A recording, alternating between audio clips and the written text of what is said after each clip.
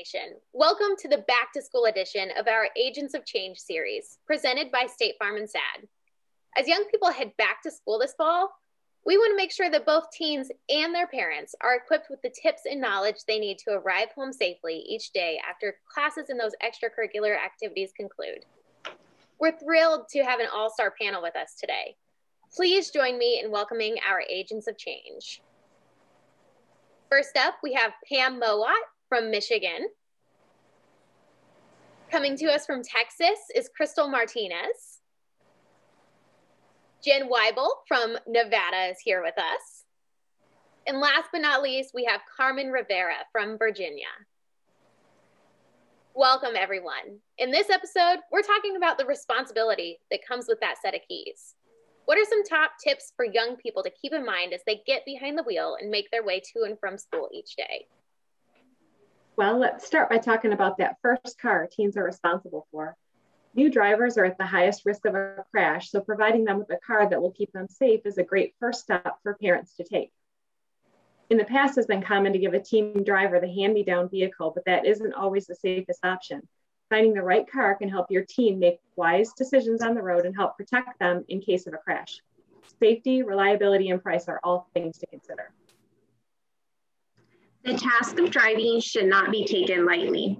Parents, I cannot stress it enough. If you feel that your team needs more time, needs more practice behind the wheel, talk to them about it. Both you and your team driver should feel very confident, extremely comfortable in their ability to handle any road situations. So chances are, if you're not comfortable with your team driving, they probably are too. Um, personally, I actually had somebody else teach me how to drive because my mom was not comfortable teaching me how to drive. So just give them practice and make it a comfortable situation for both of you. That's super true, Crystal. You know, it's so exciting to have uh, new car keys in your hand and a car and an open road before you. It really is thrilling, but it does come with some perks uh, for sure and some responsibilities.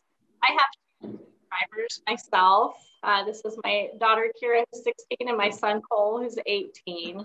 My favorite perk is that now my daughter will actually go to the grocery store for me.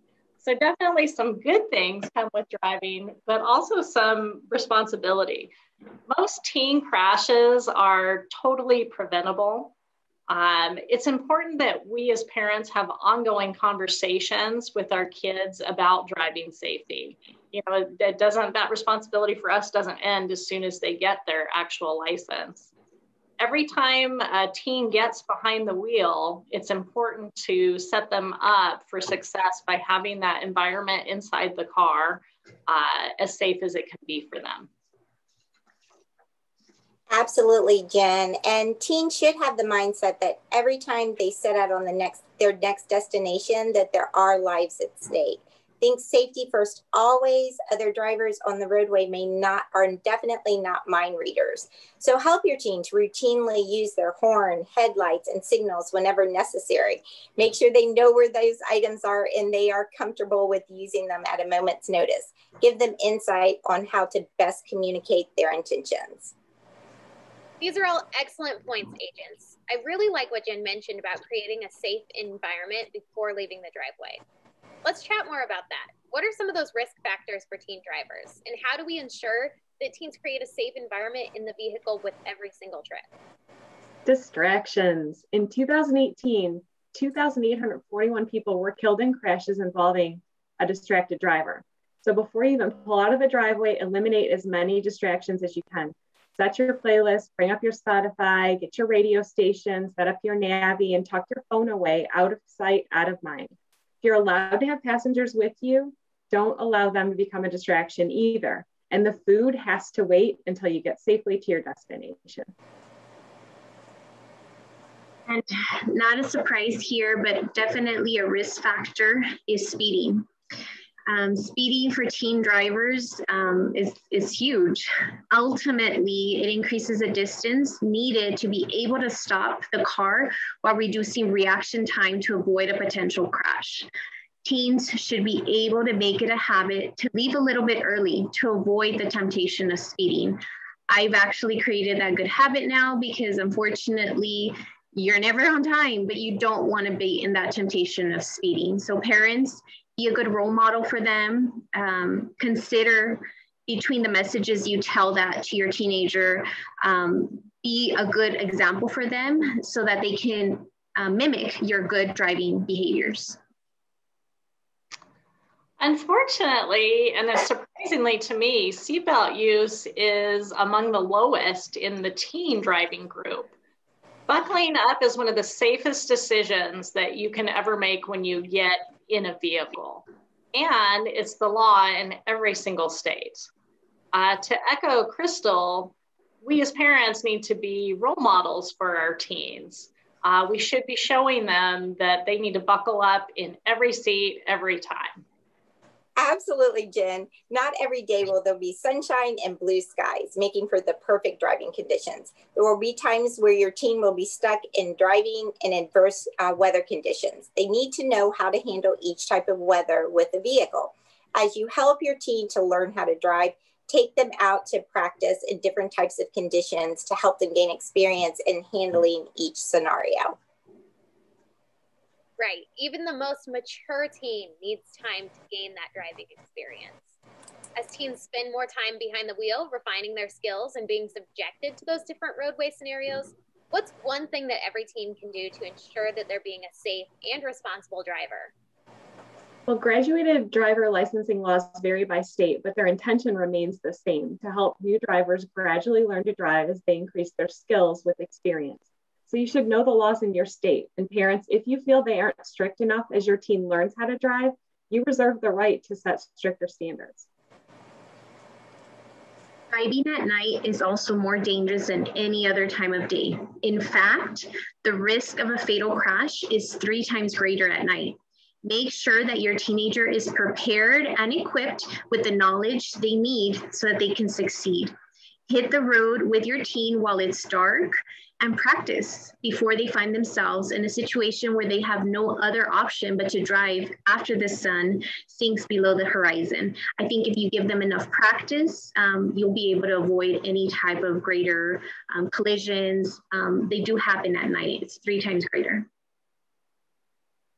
That's true. Yeah. Another pro tip that we have is to make sure that you, as a teen driver, uh, allow a safe enough distance between you and the car in front of you.